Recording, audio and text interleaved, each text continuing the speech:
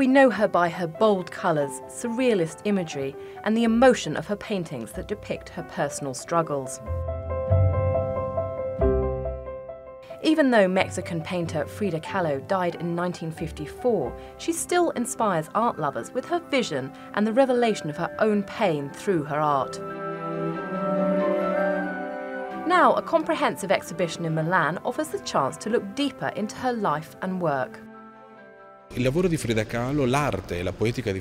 The work of Frida Kahlo, her art and her poetics are absolutely innovative, revolutionary for her time, and they reveal extraordinary technical skills. This is what the exhibit wants to shed light on Frida Kahlo as an artist. So for once, we try to set aside the figure of Frida Kahlo as a woman and as the wife of Diego Rivera to narrate her role as a precursor in terms of style and her choice of themes in art history. It took almost six years to put together Frida Kahlo Beyond the Myth, which assembles paintings, drawings, and photographs, including some of her most important self portraits.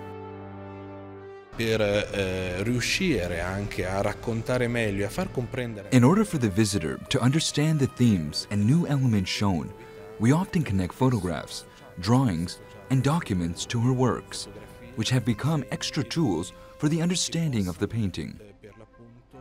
I was often able to find material, for the most part on display for the first time, that could portray her relationship with the artwork. A secondary exhibition is dedicated to Kahlo's Mexican roots, displaying historical artifacts and photographs alongside images of her work.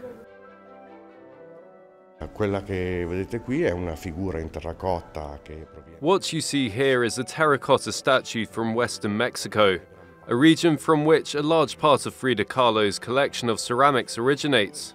And in this case, we displayed it in front of a picture in which she is holding a statue from western Mexico. It is a great example of the work we tried to put together to connect objects with historical pictures that bear witness to these objects. In the main exhibit, there is also a painting with a statue very similar to this one, so we hope visitors will be able to make important connections as they go through the space.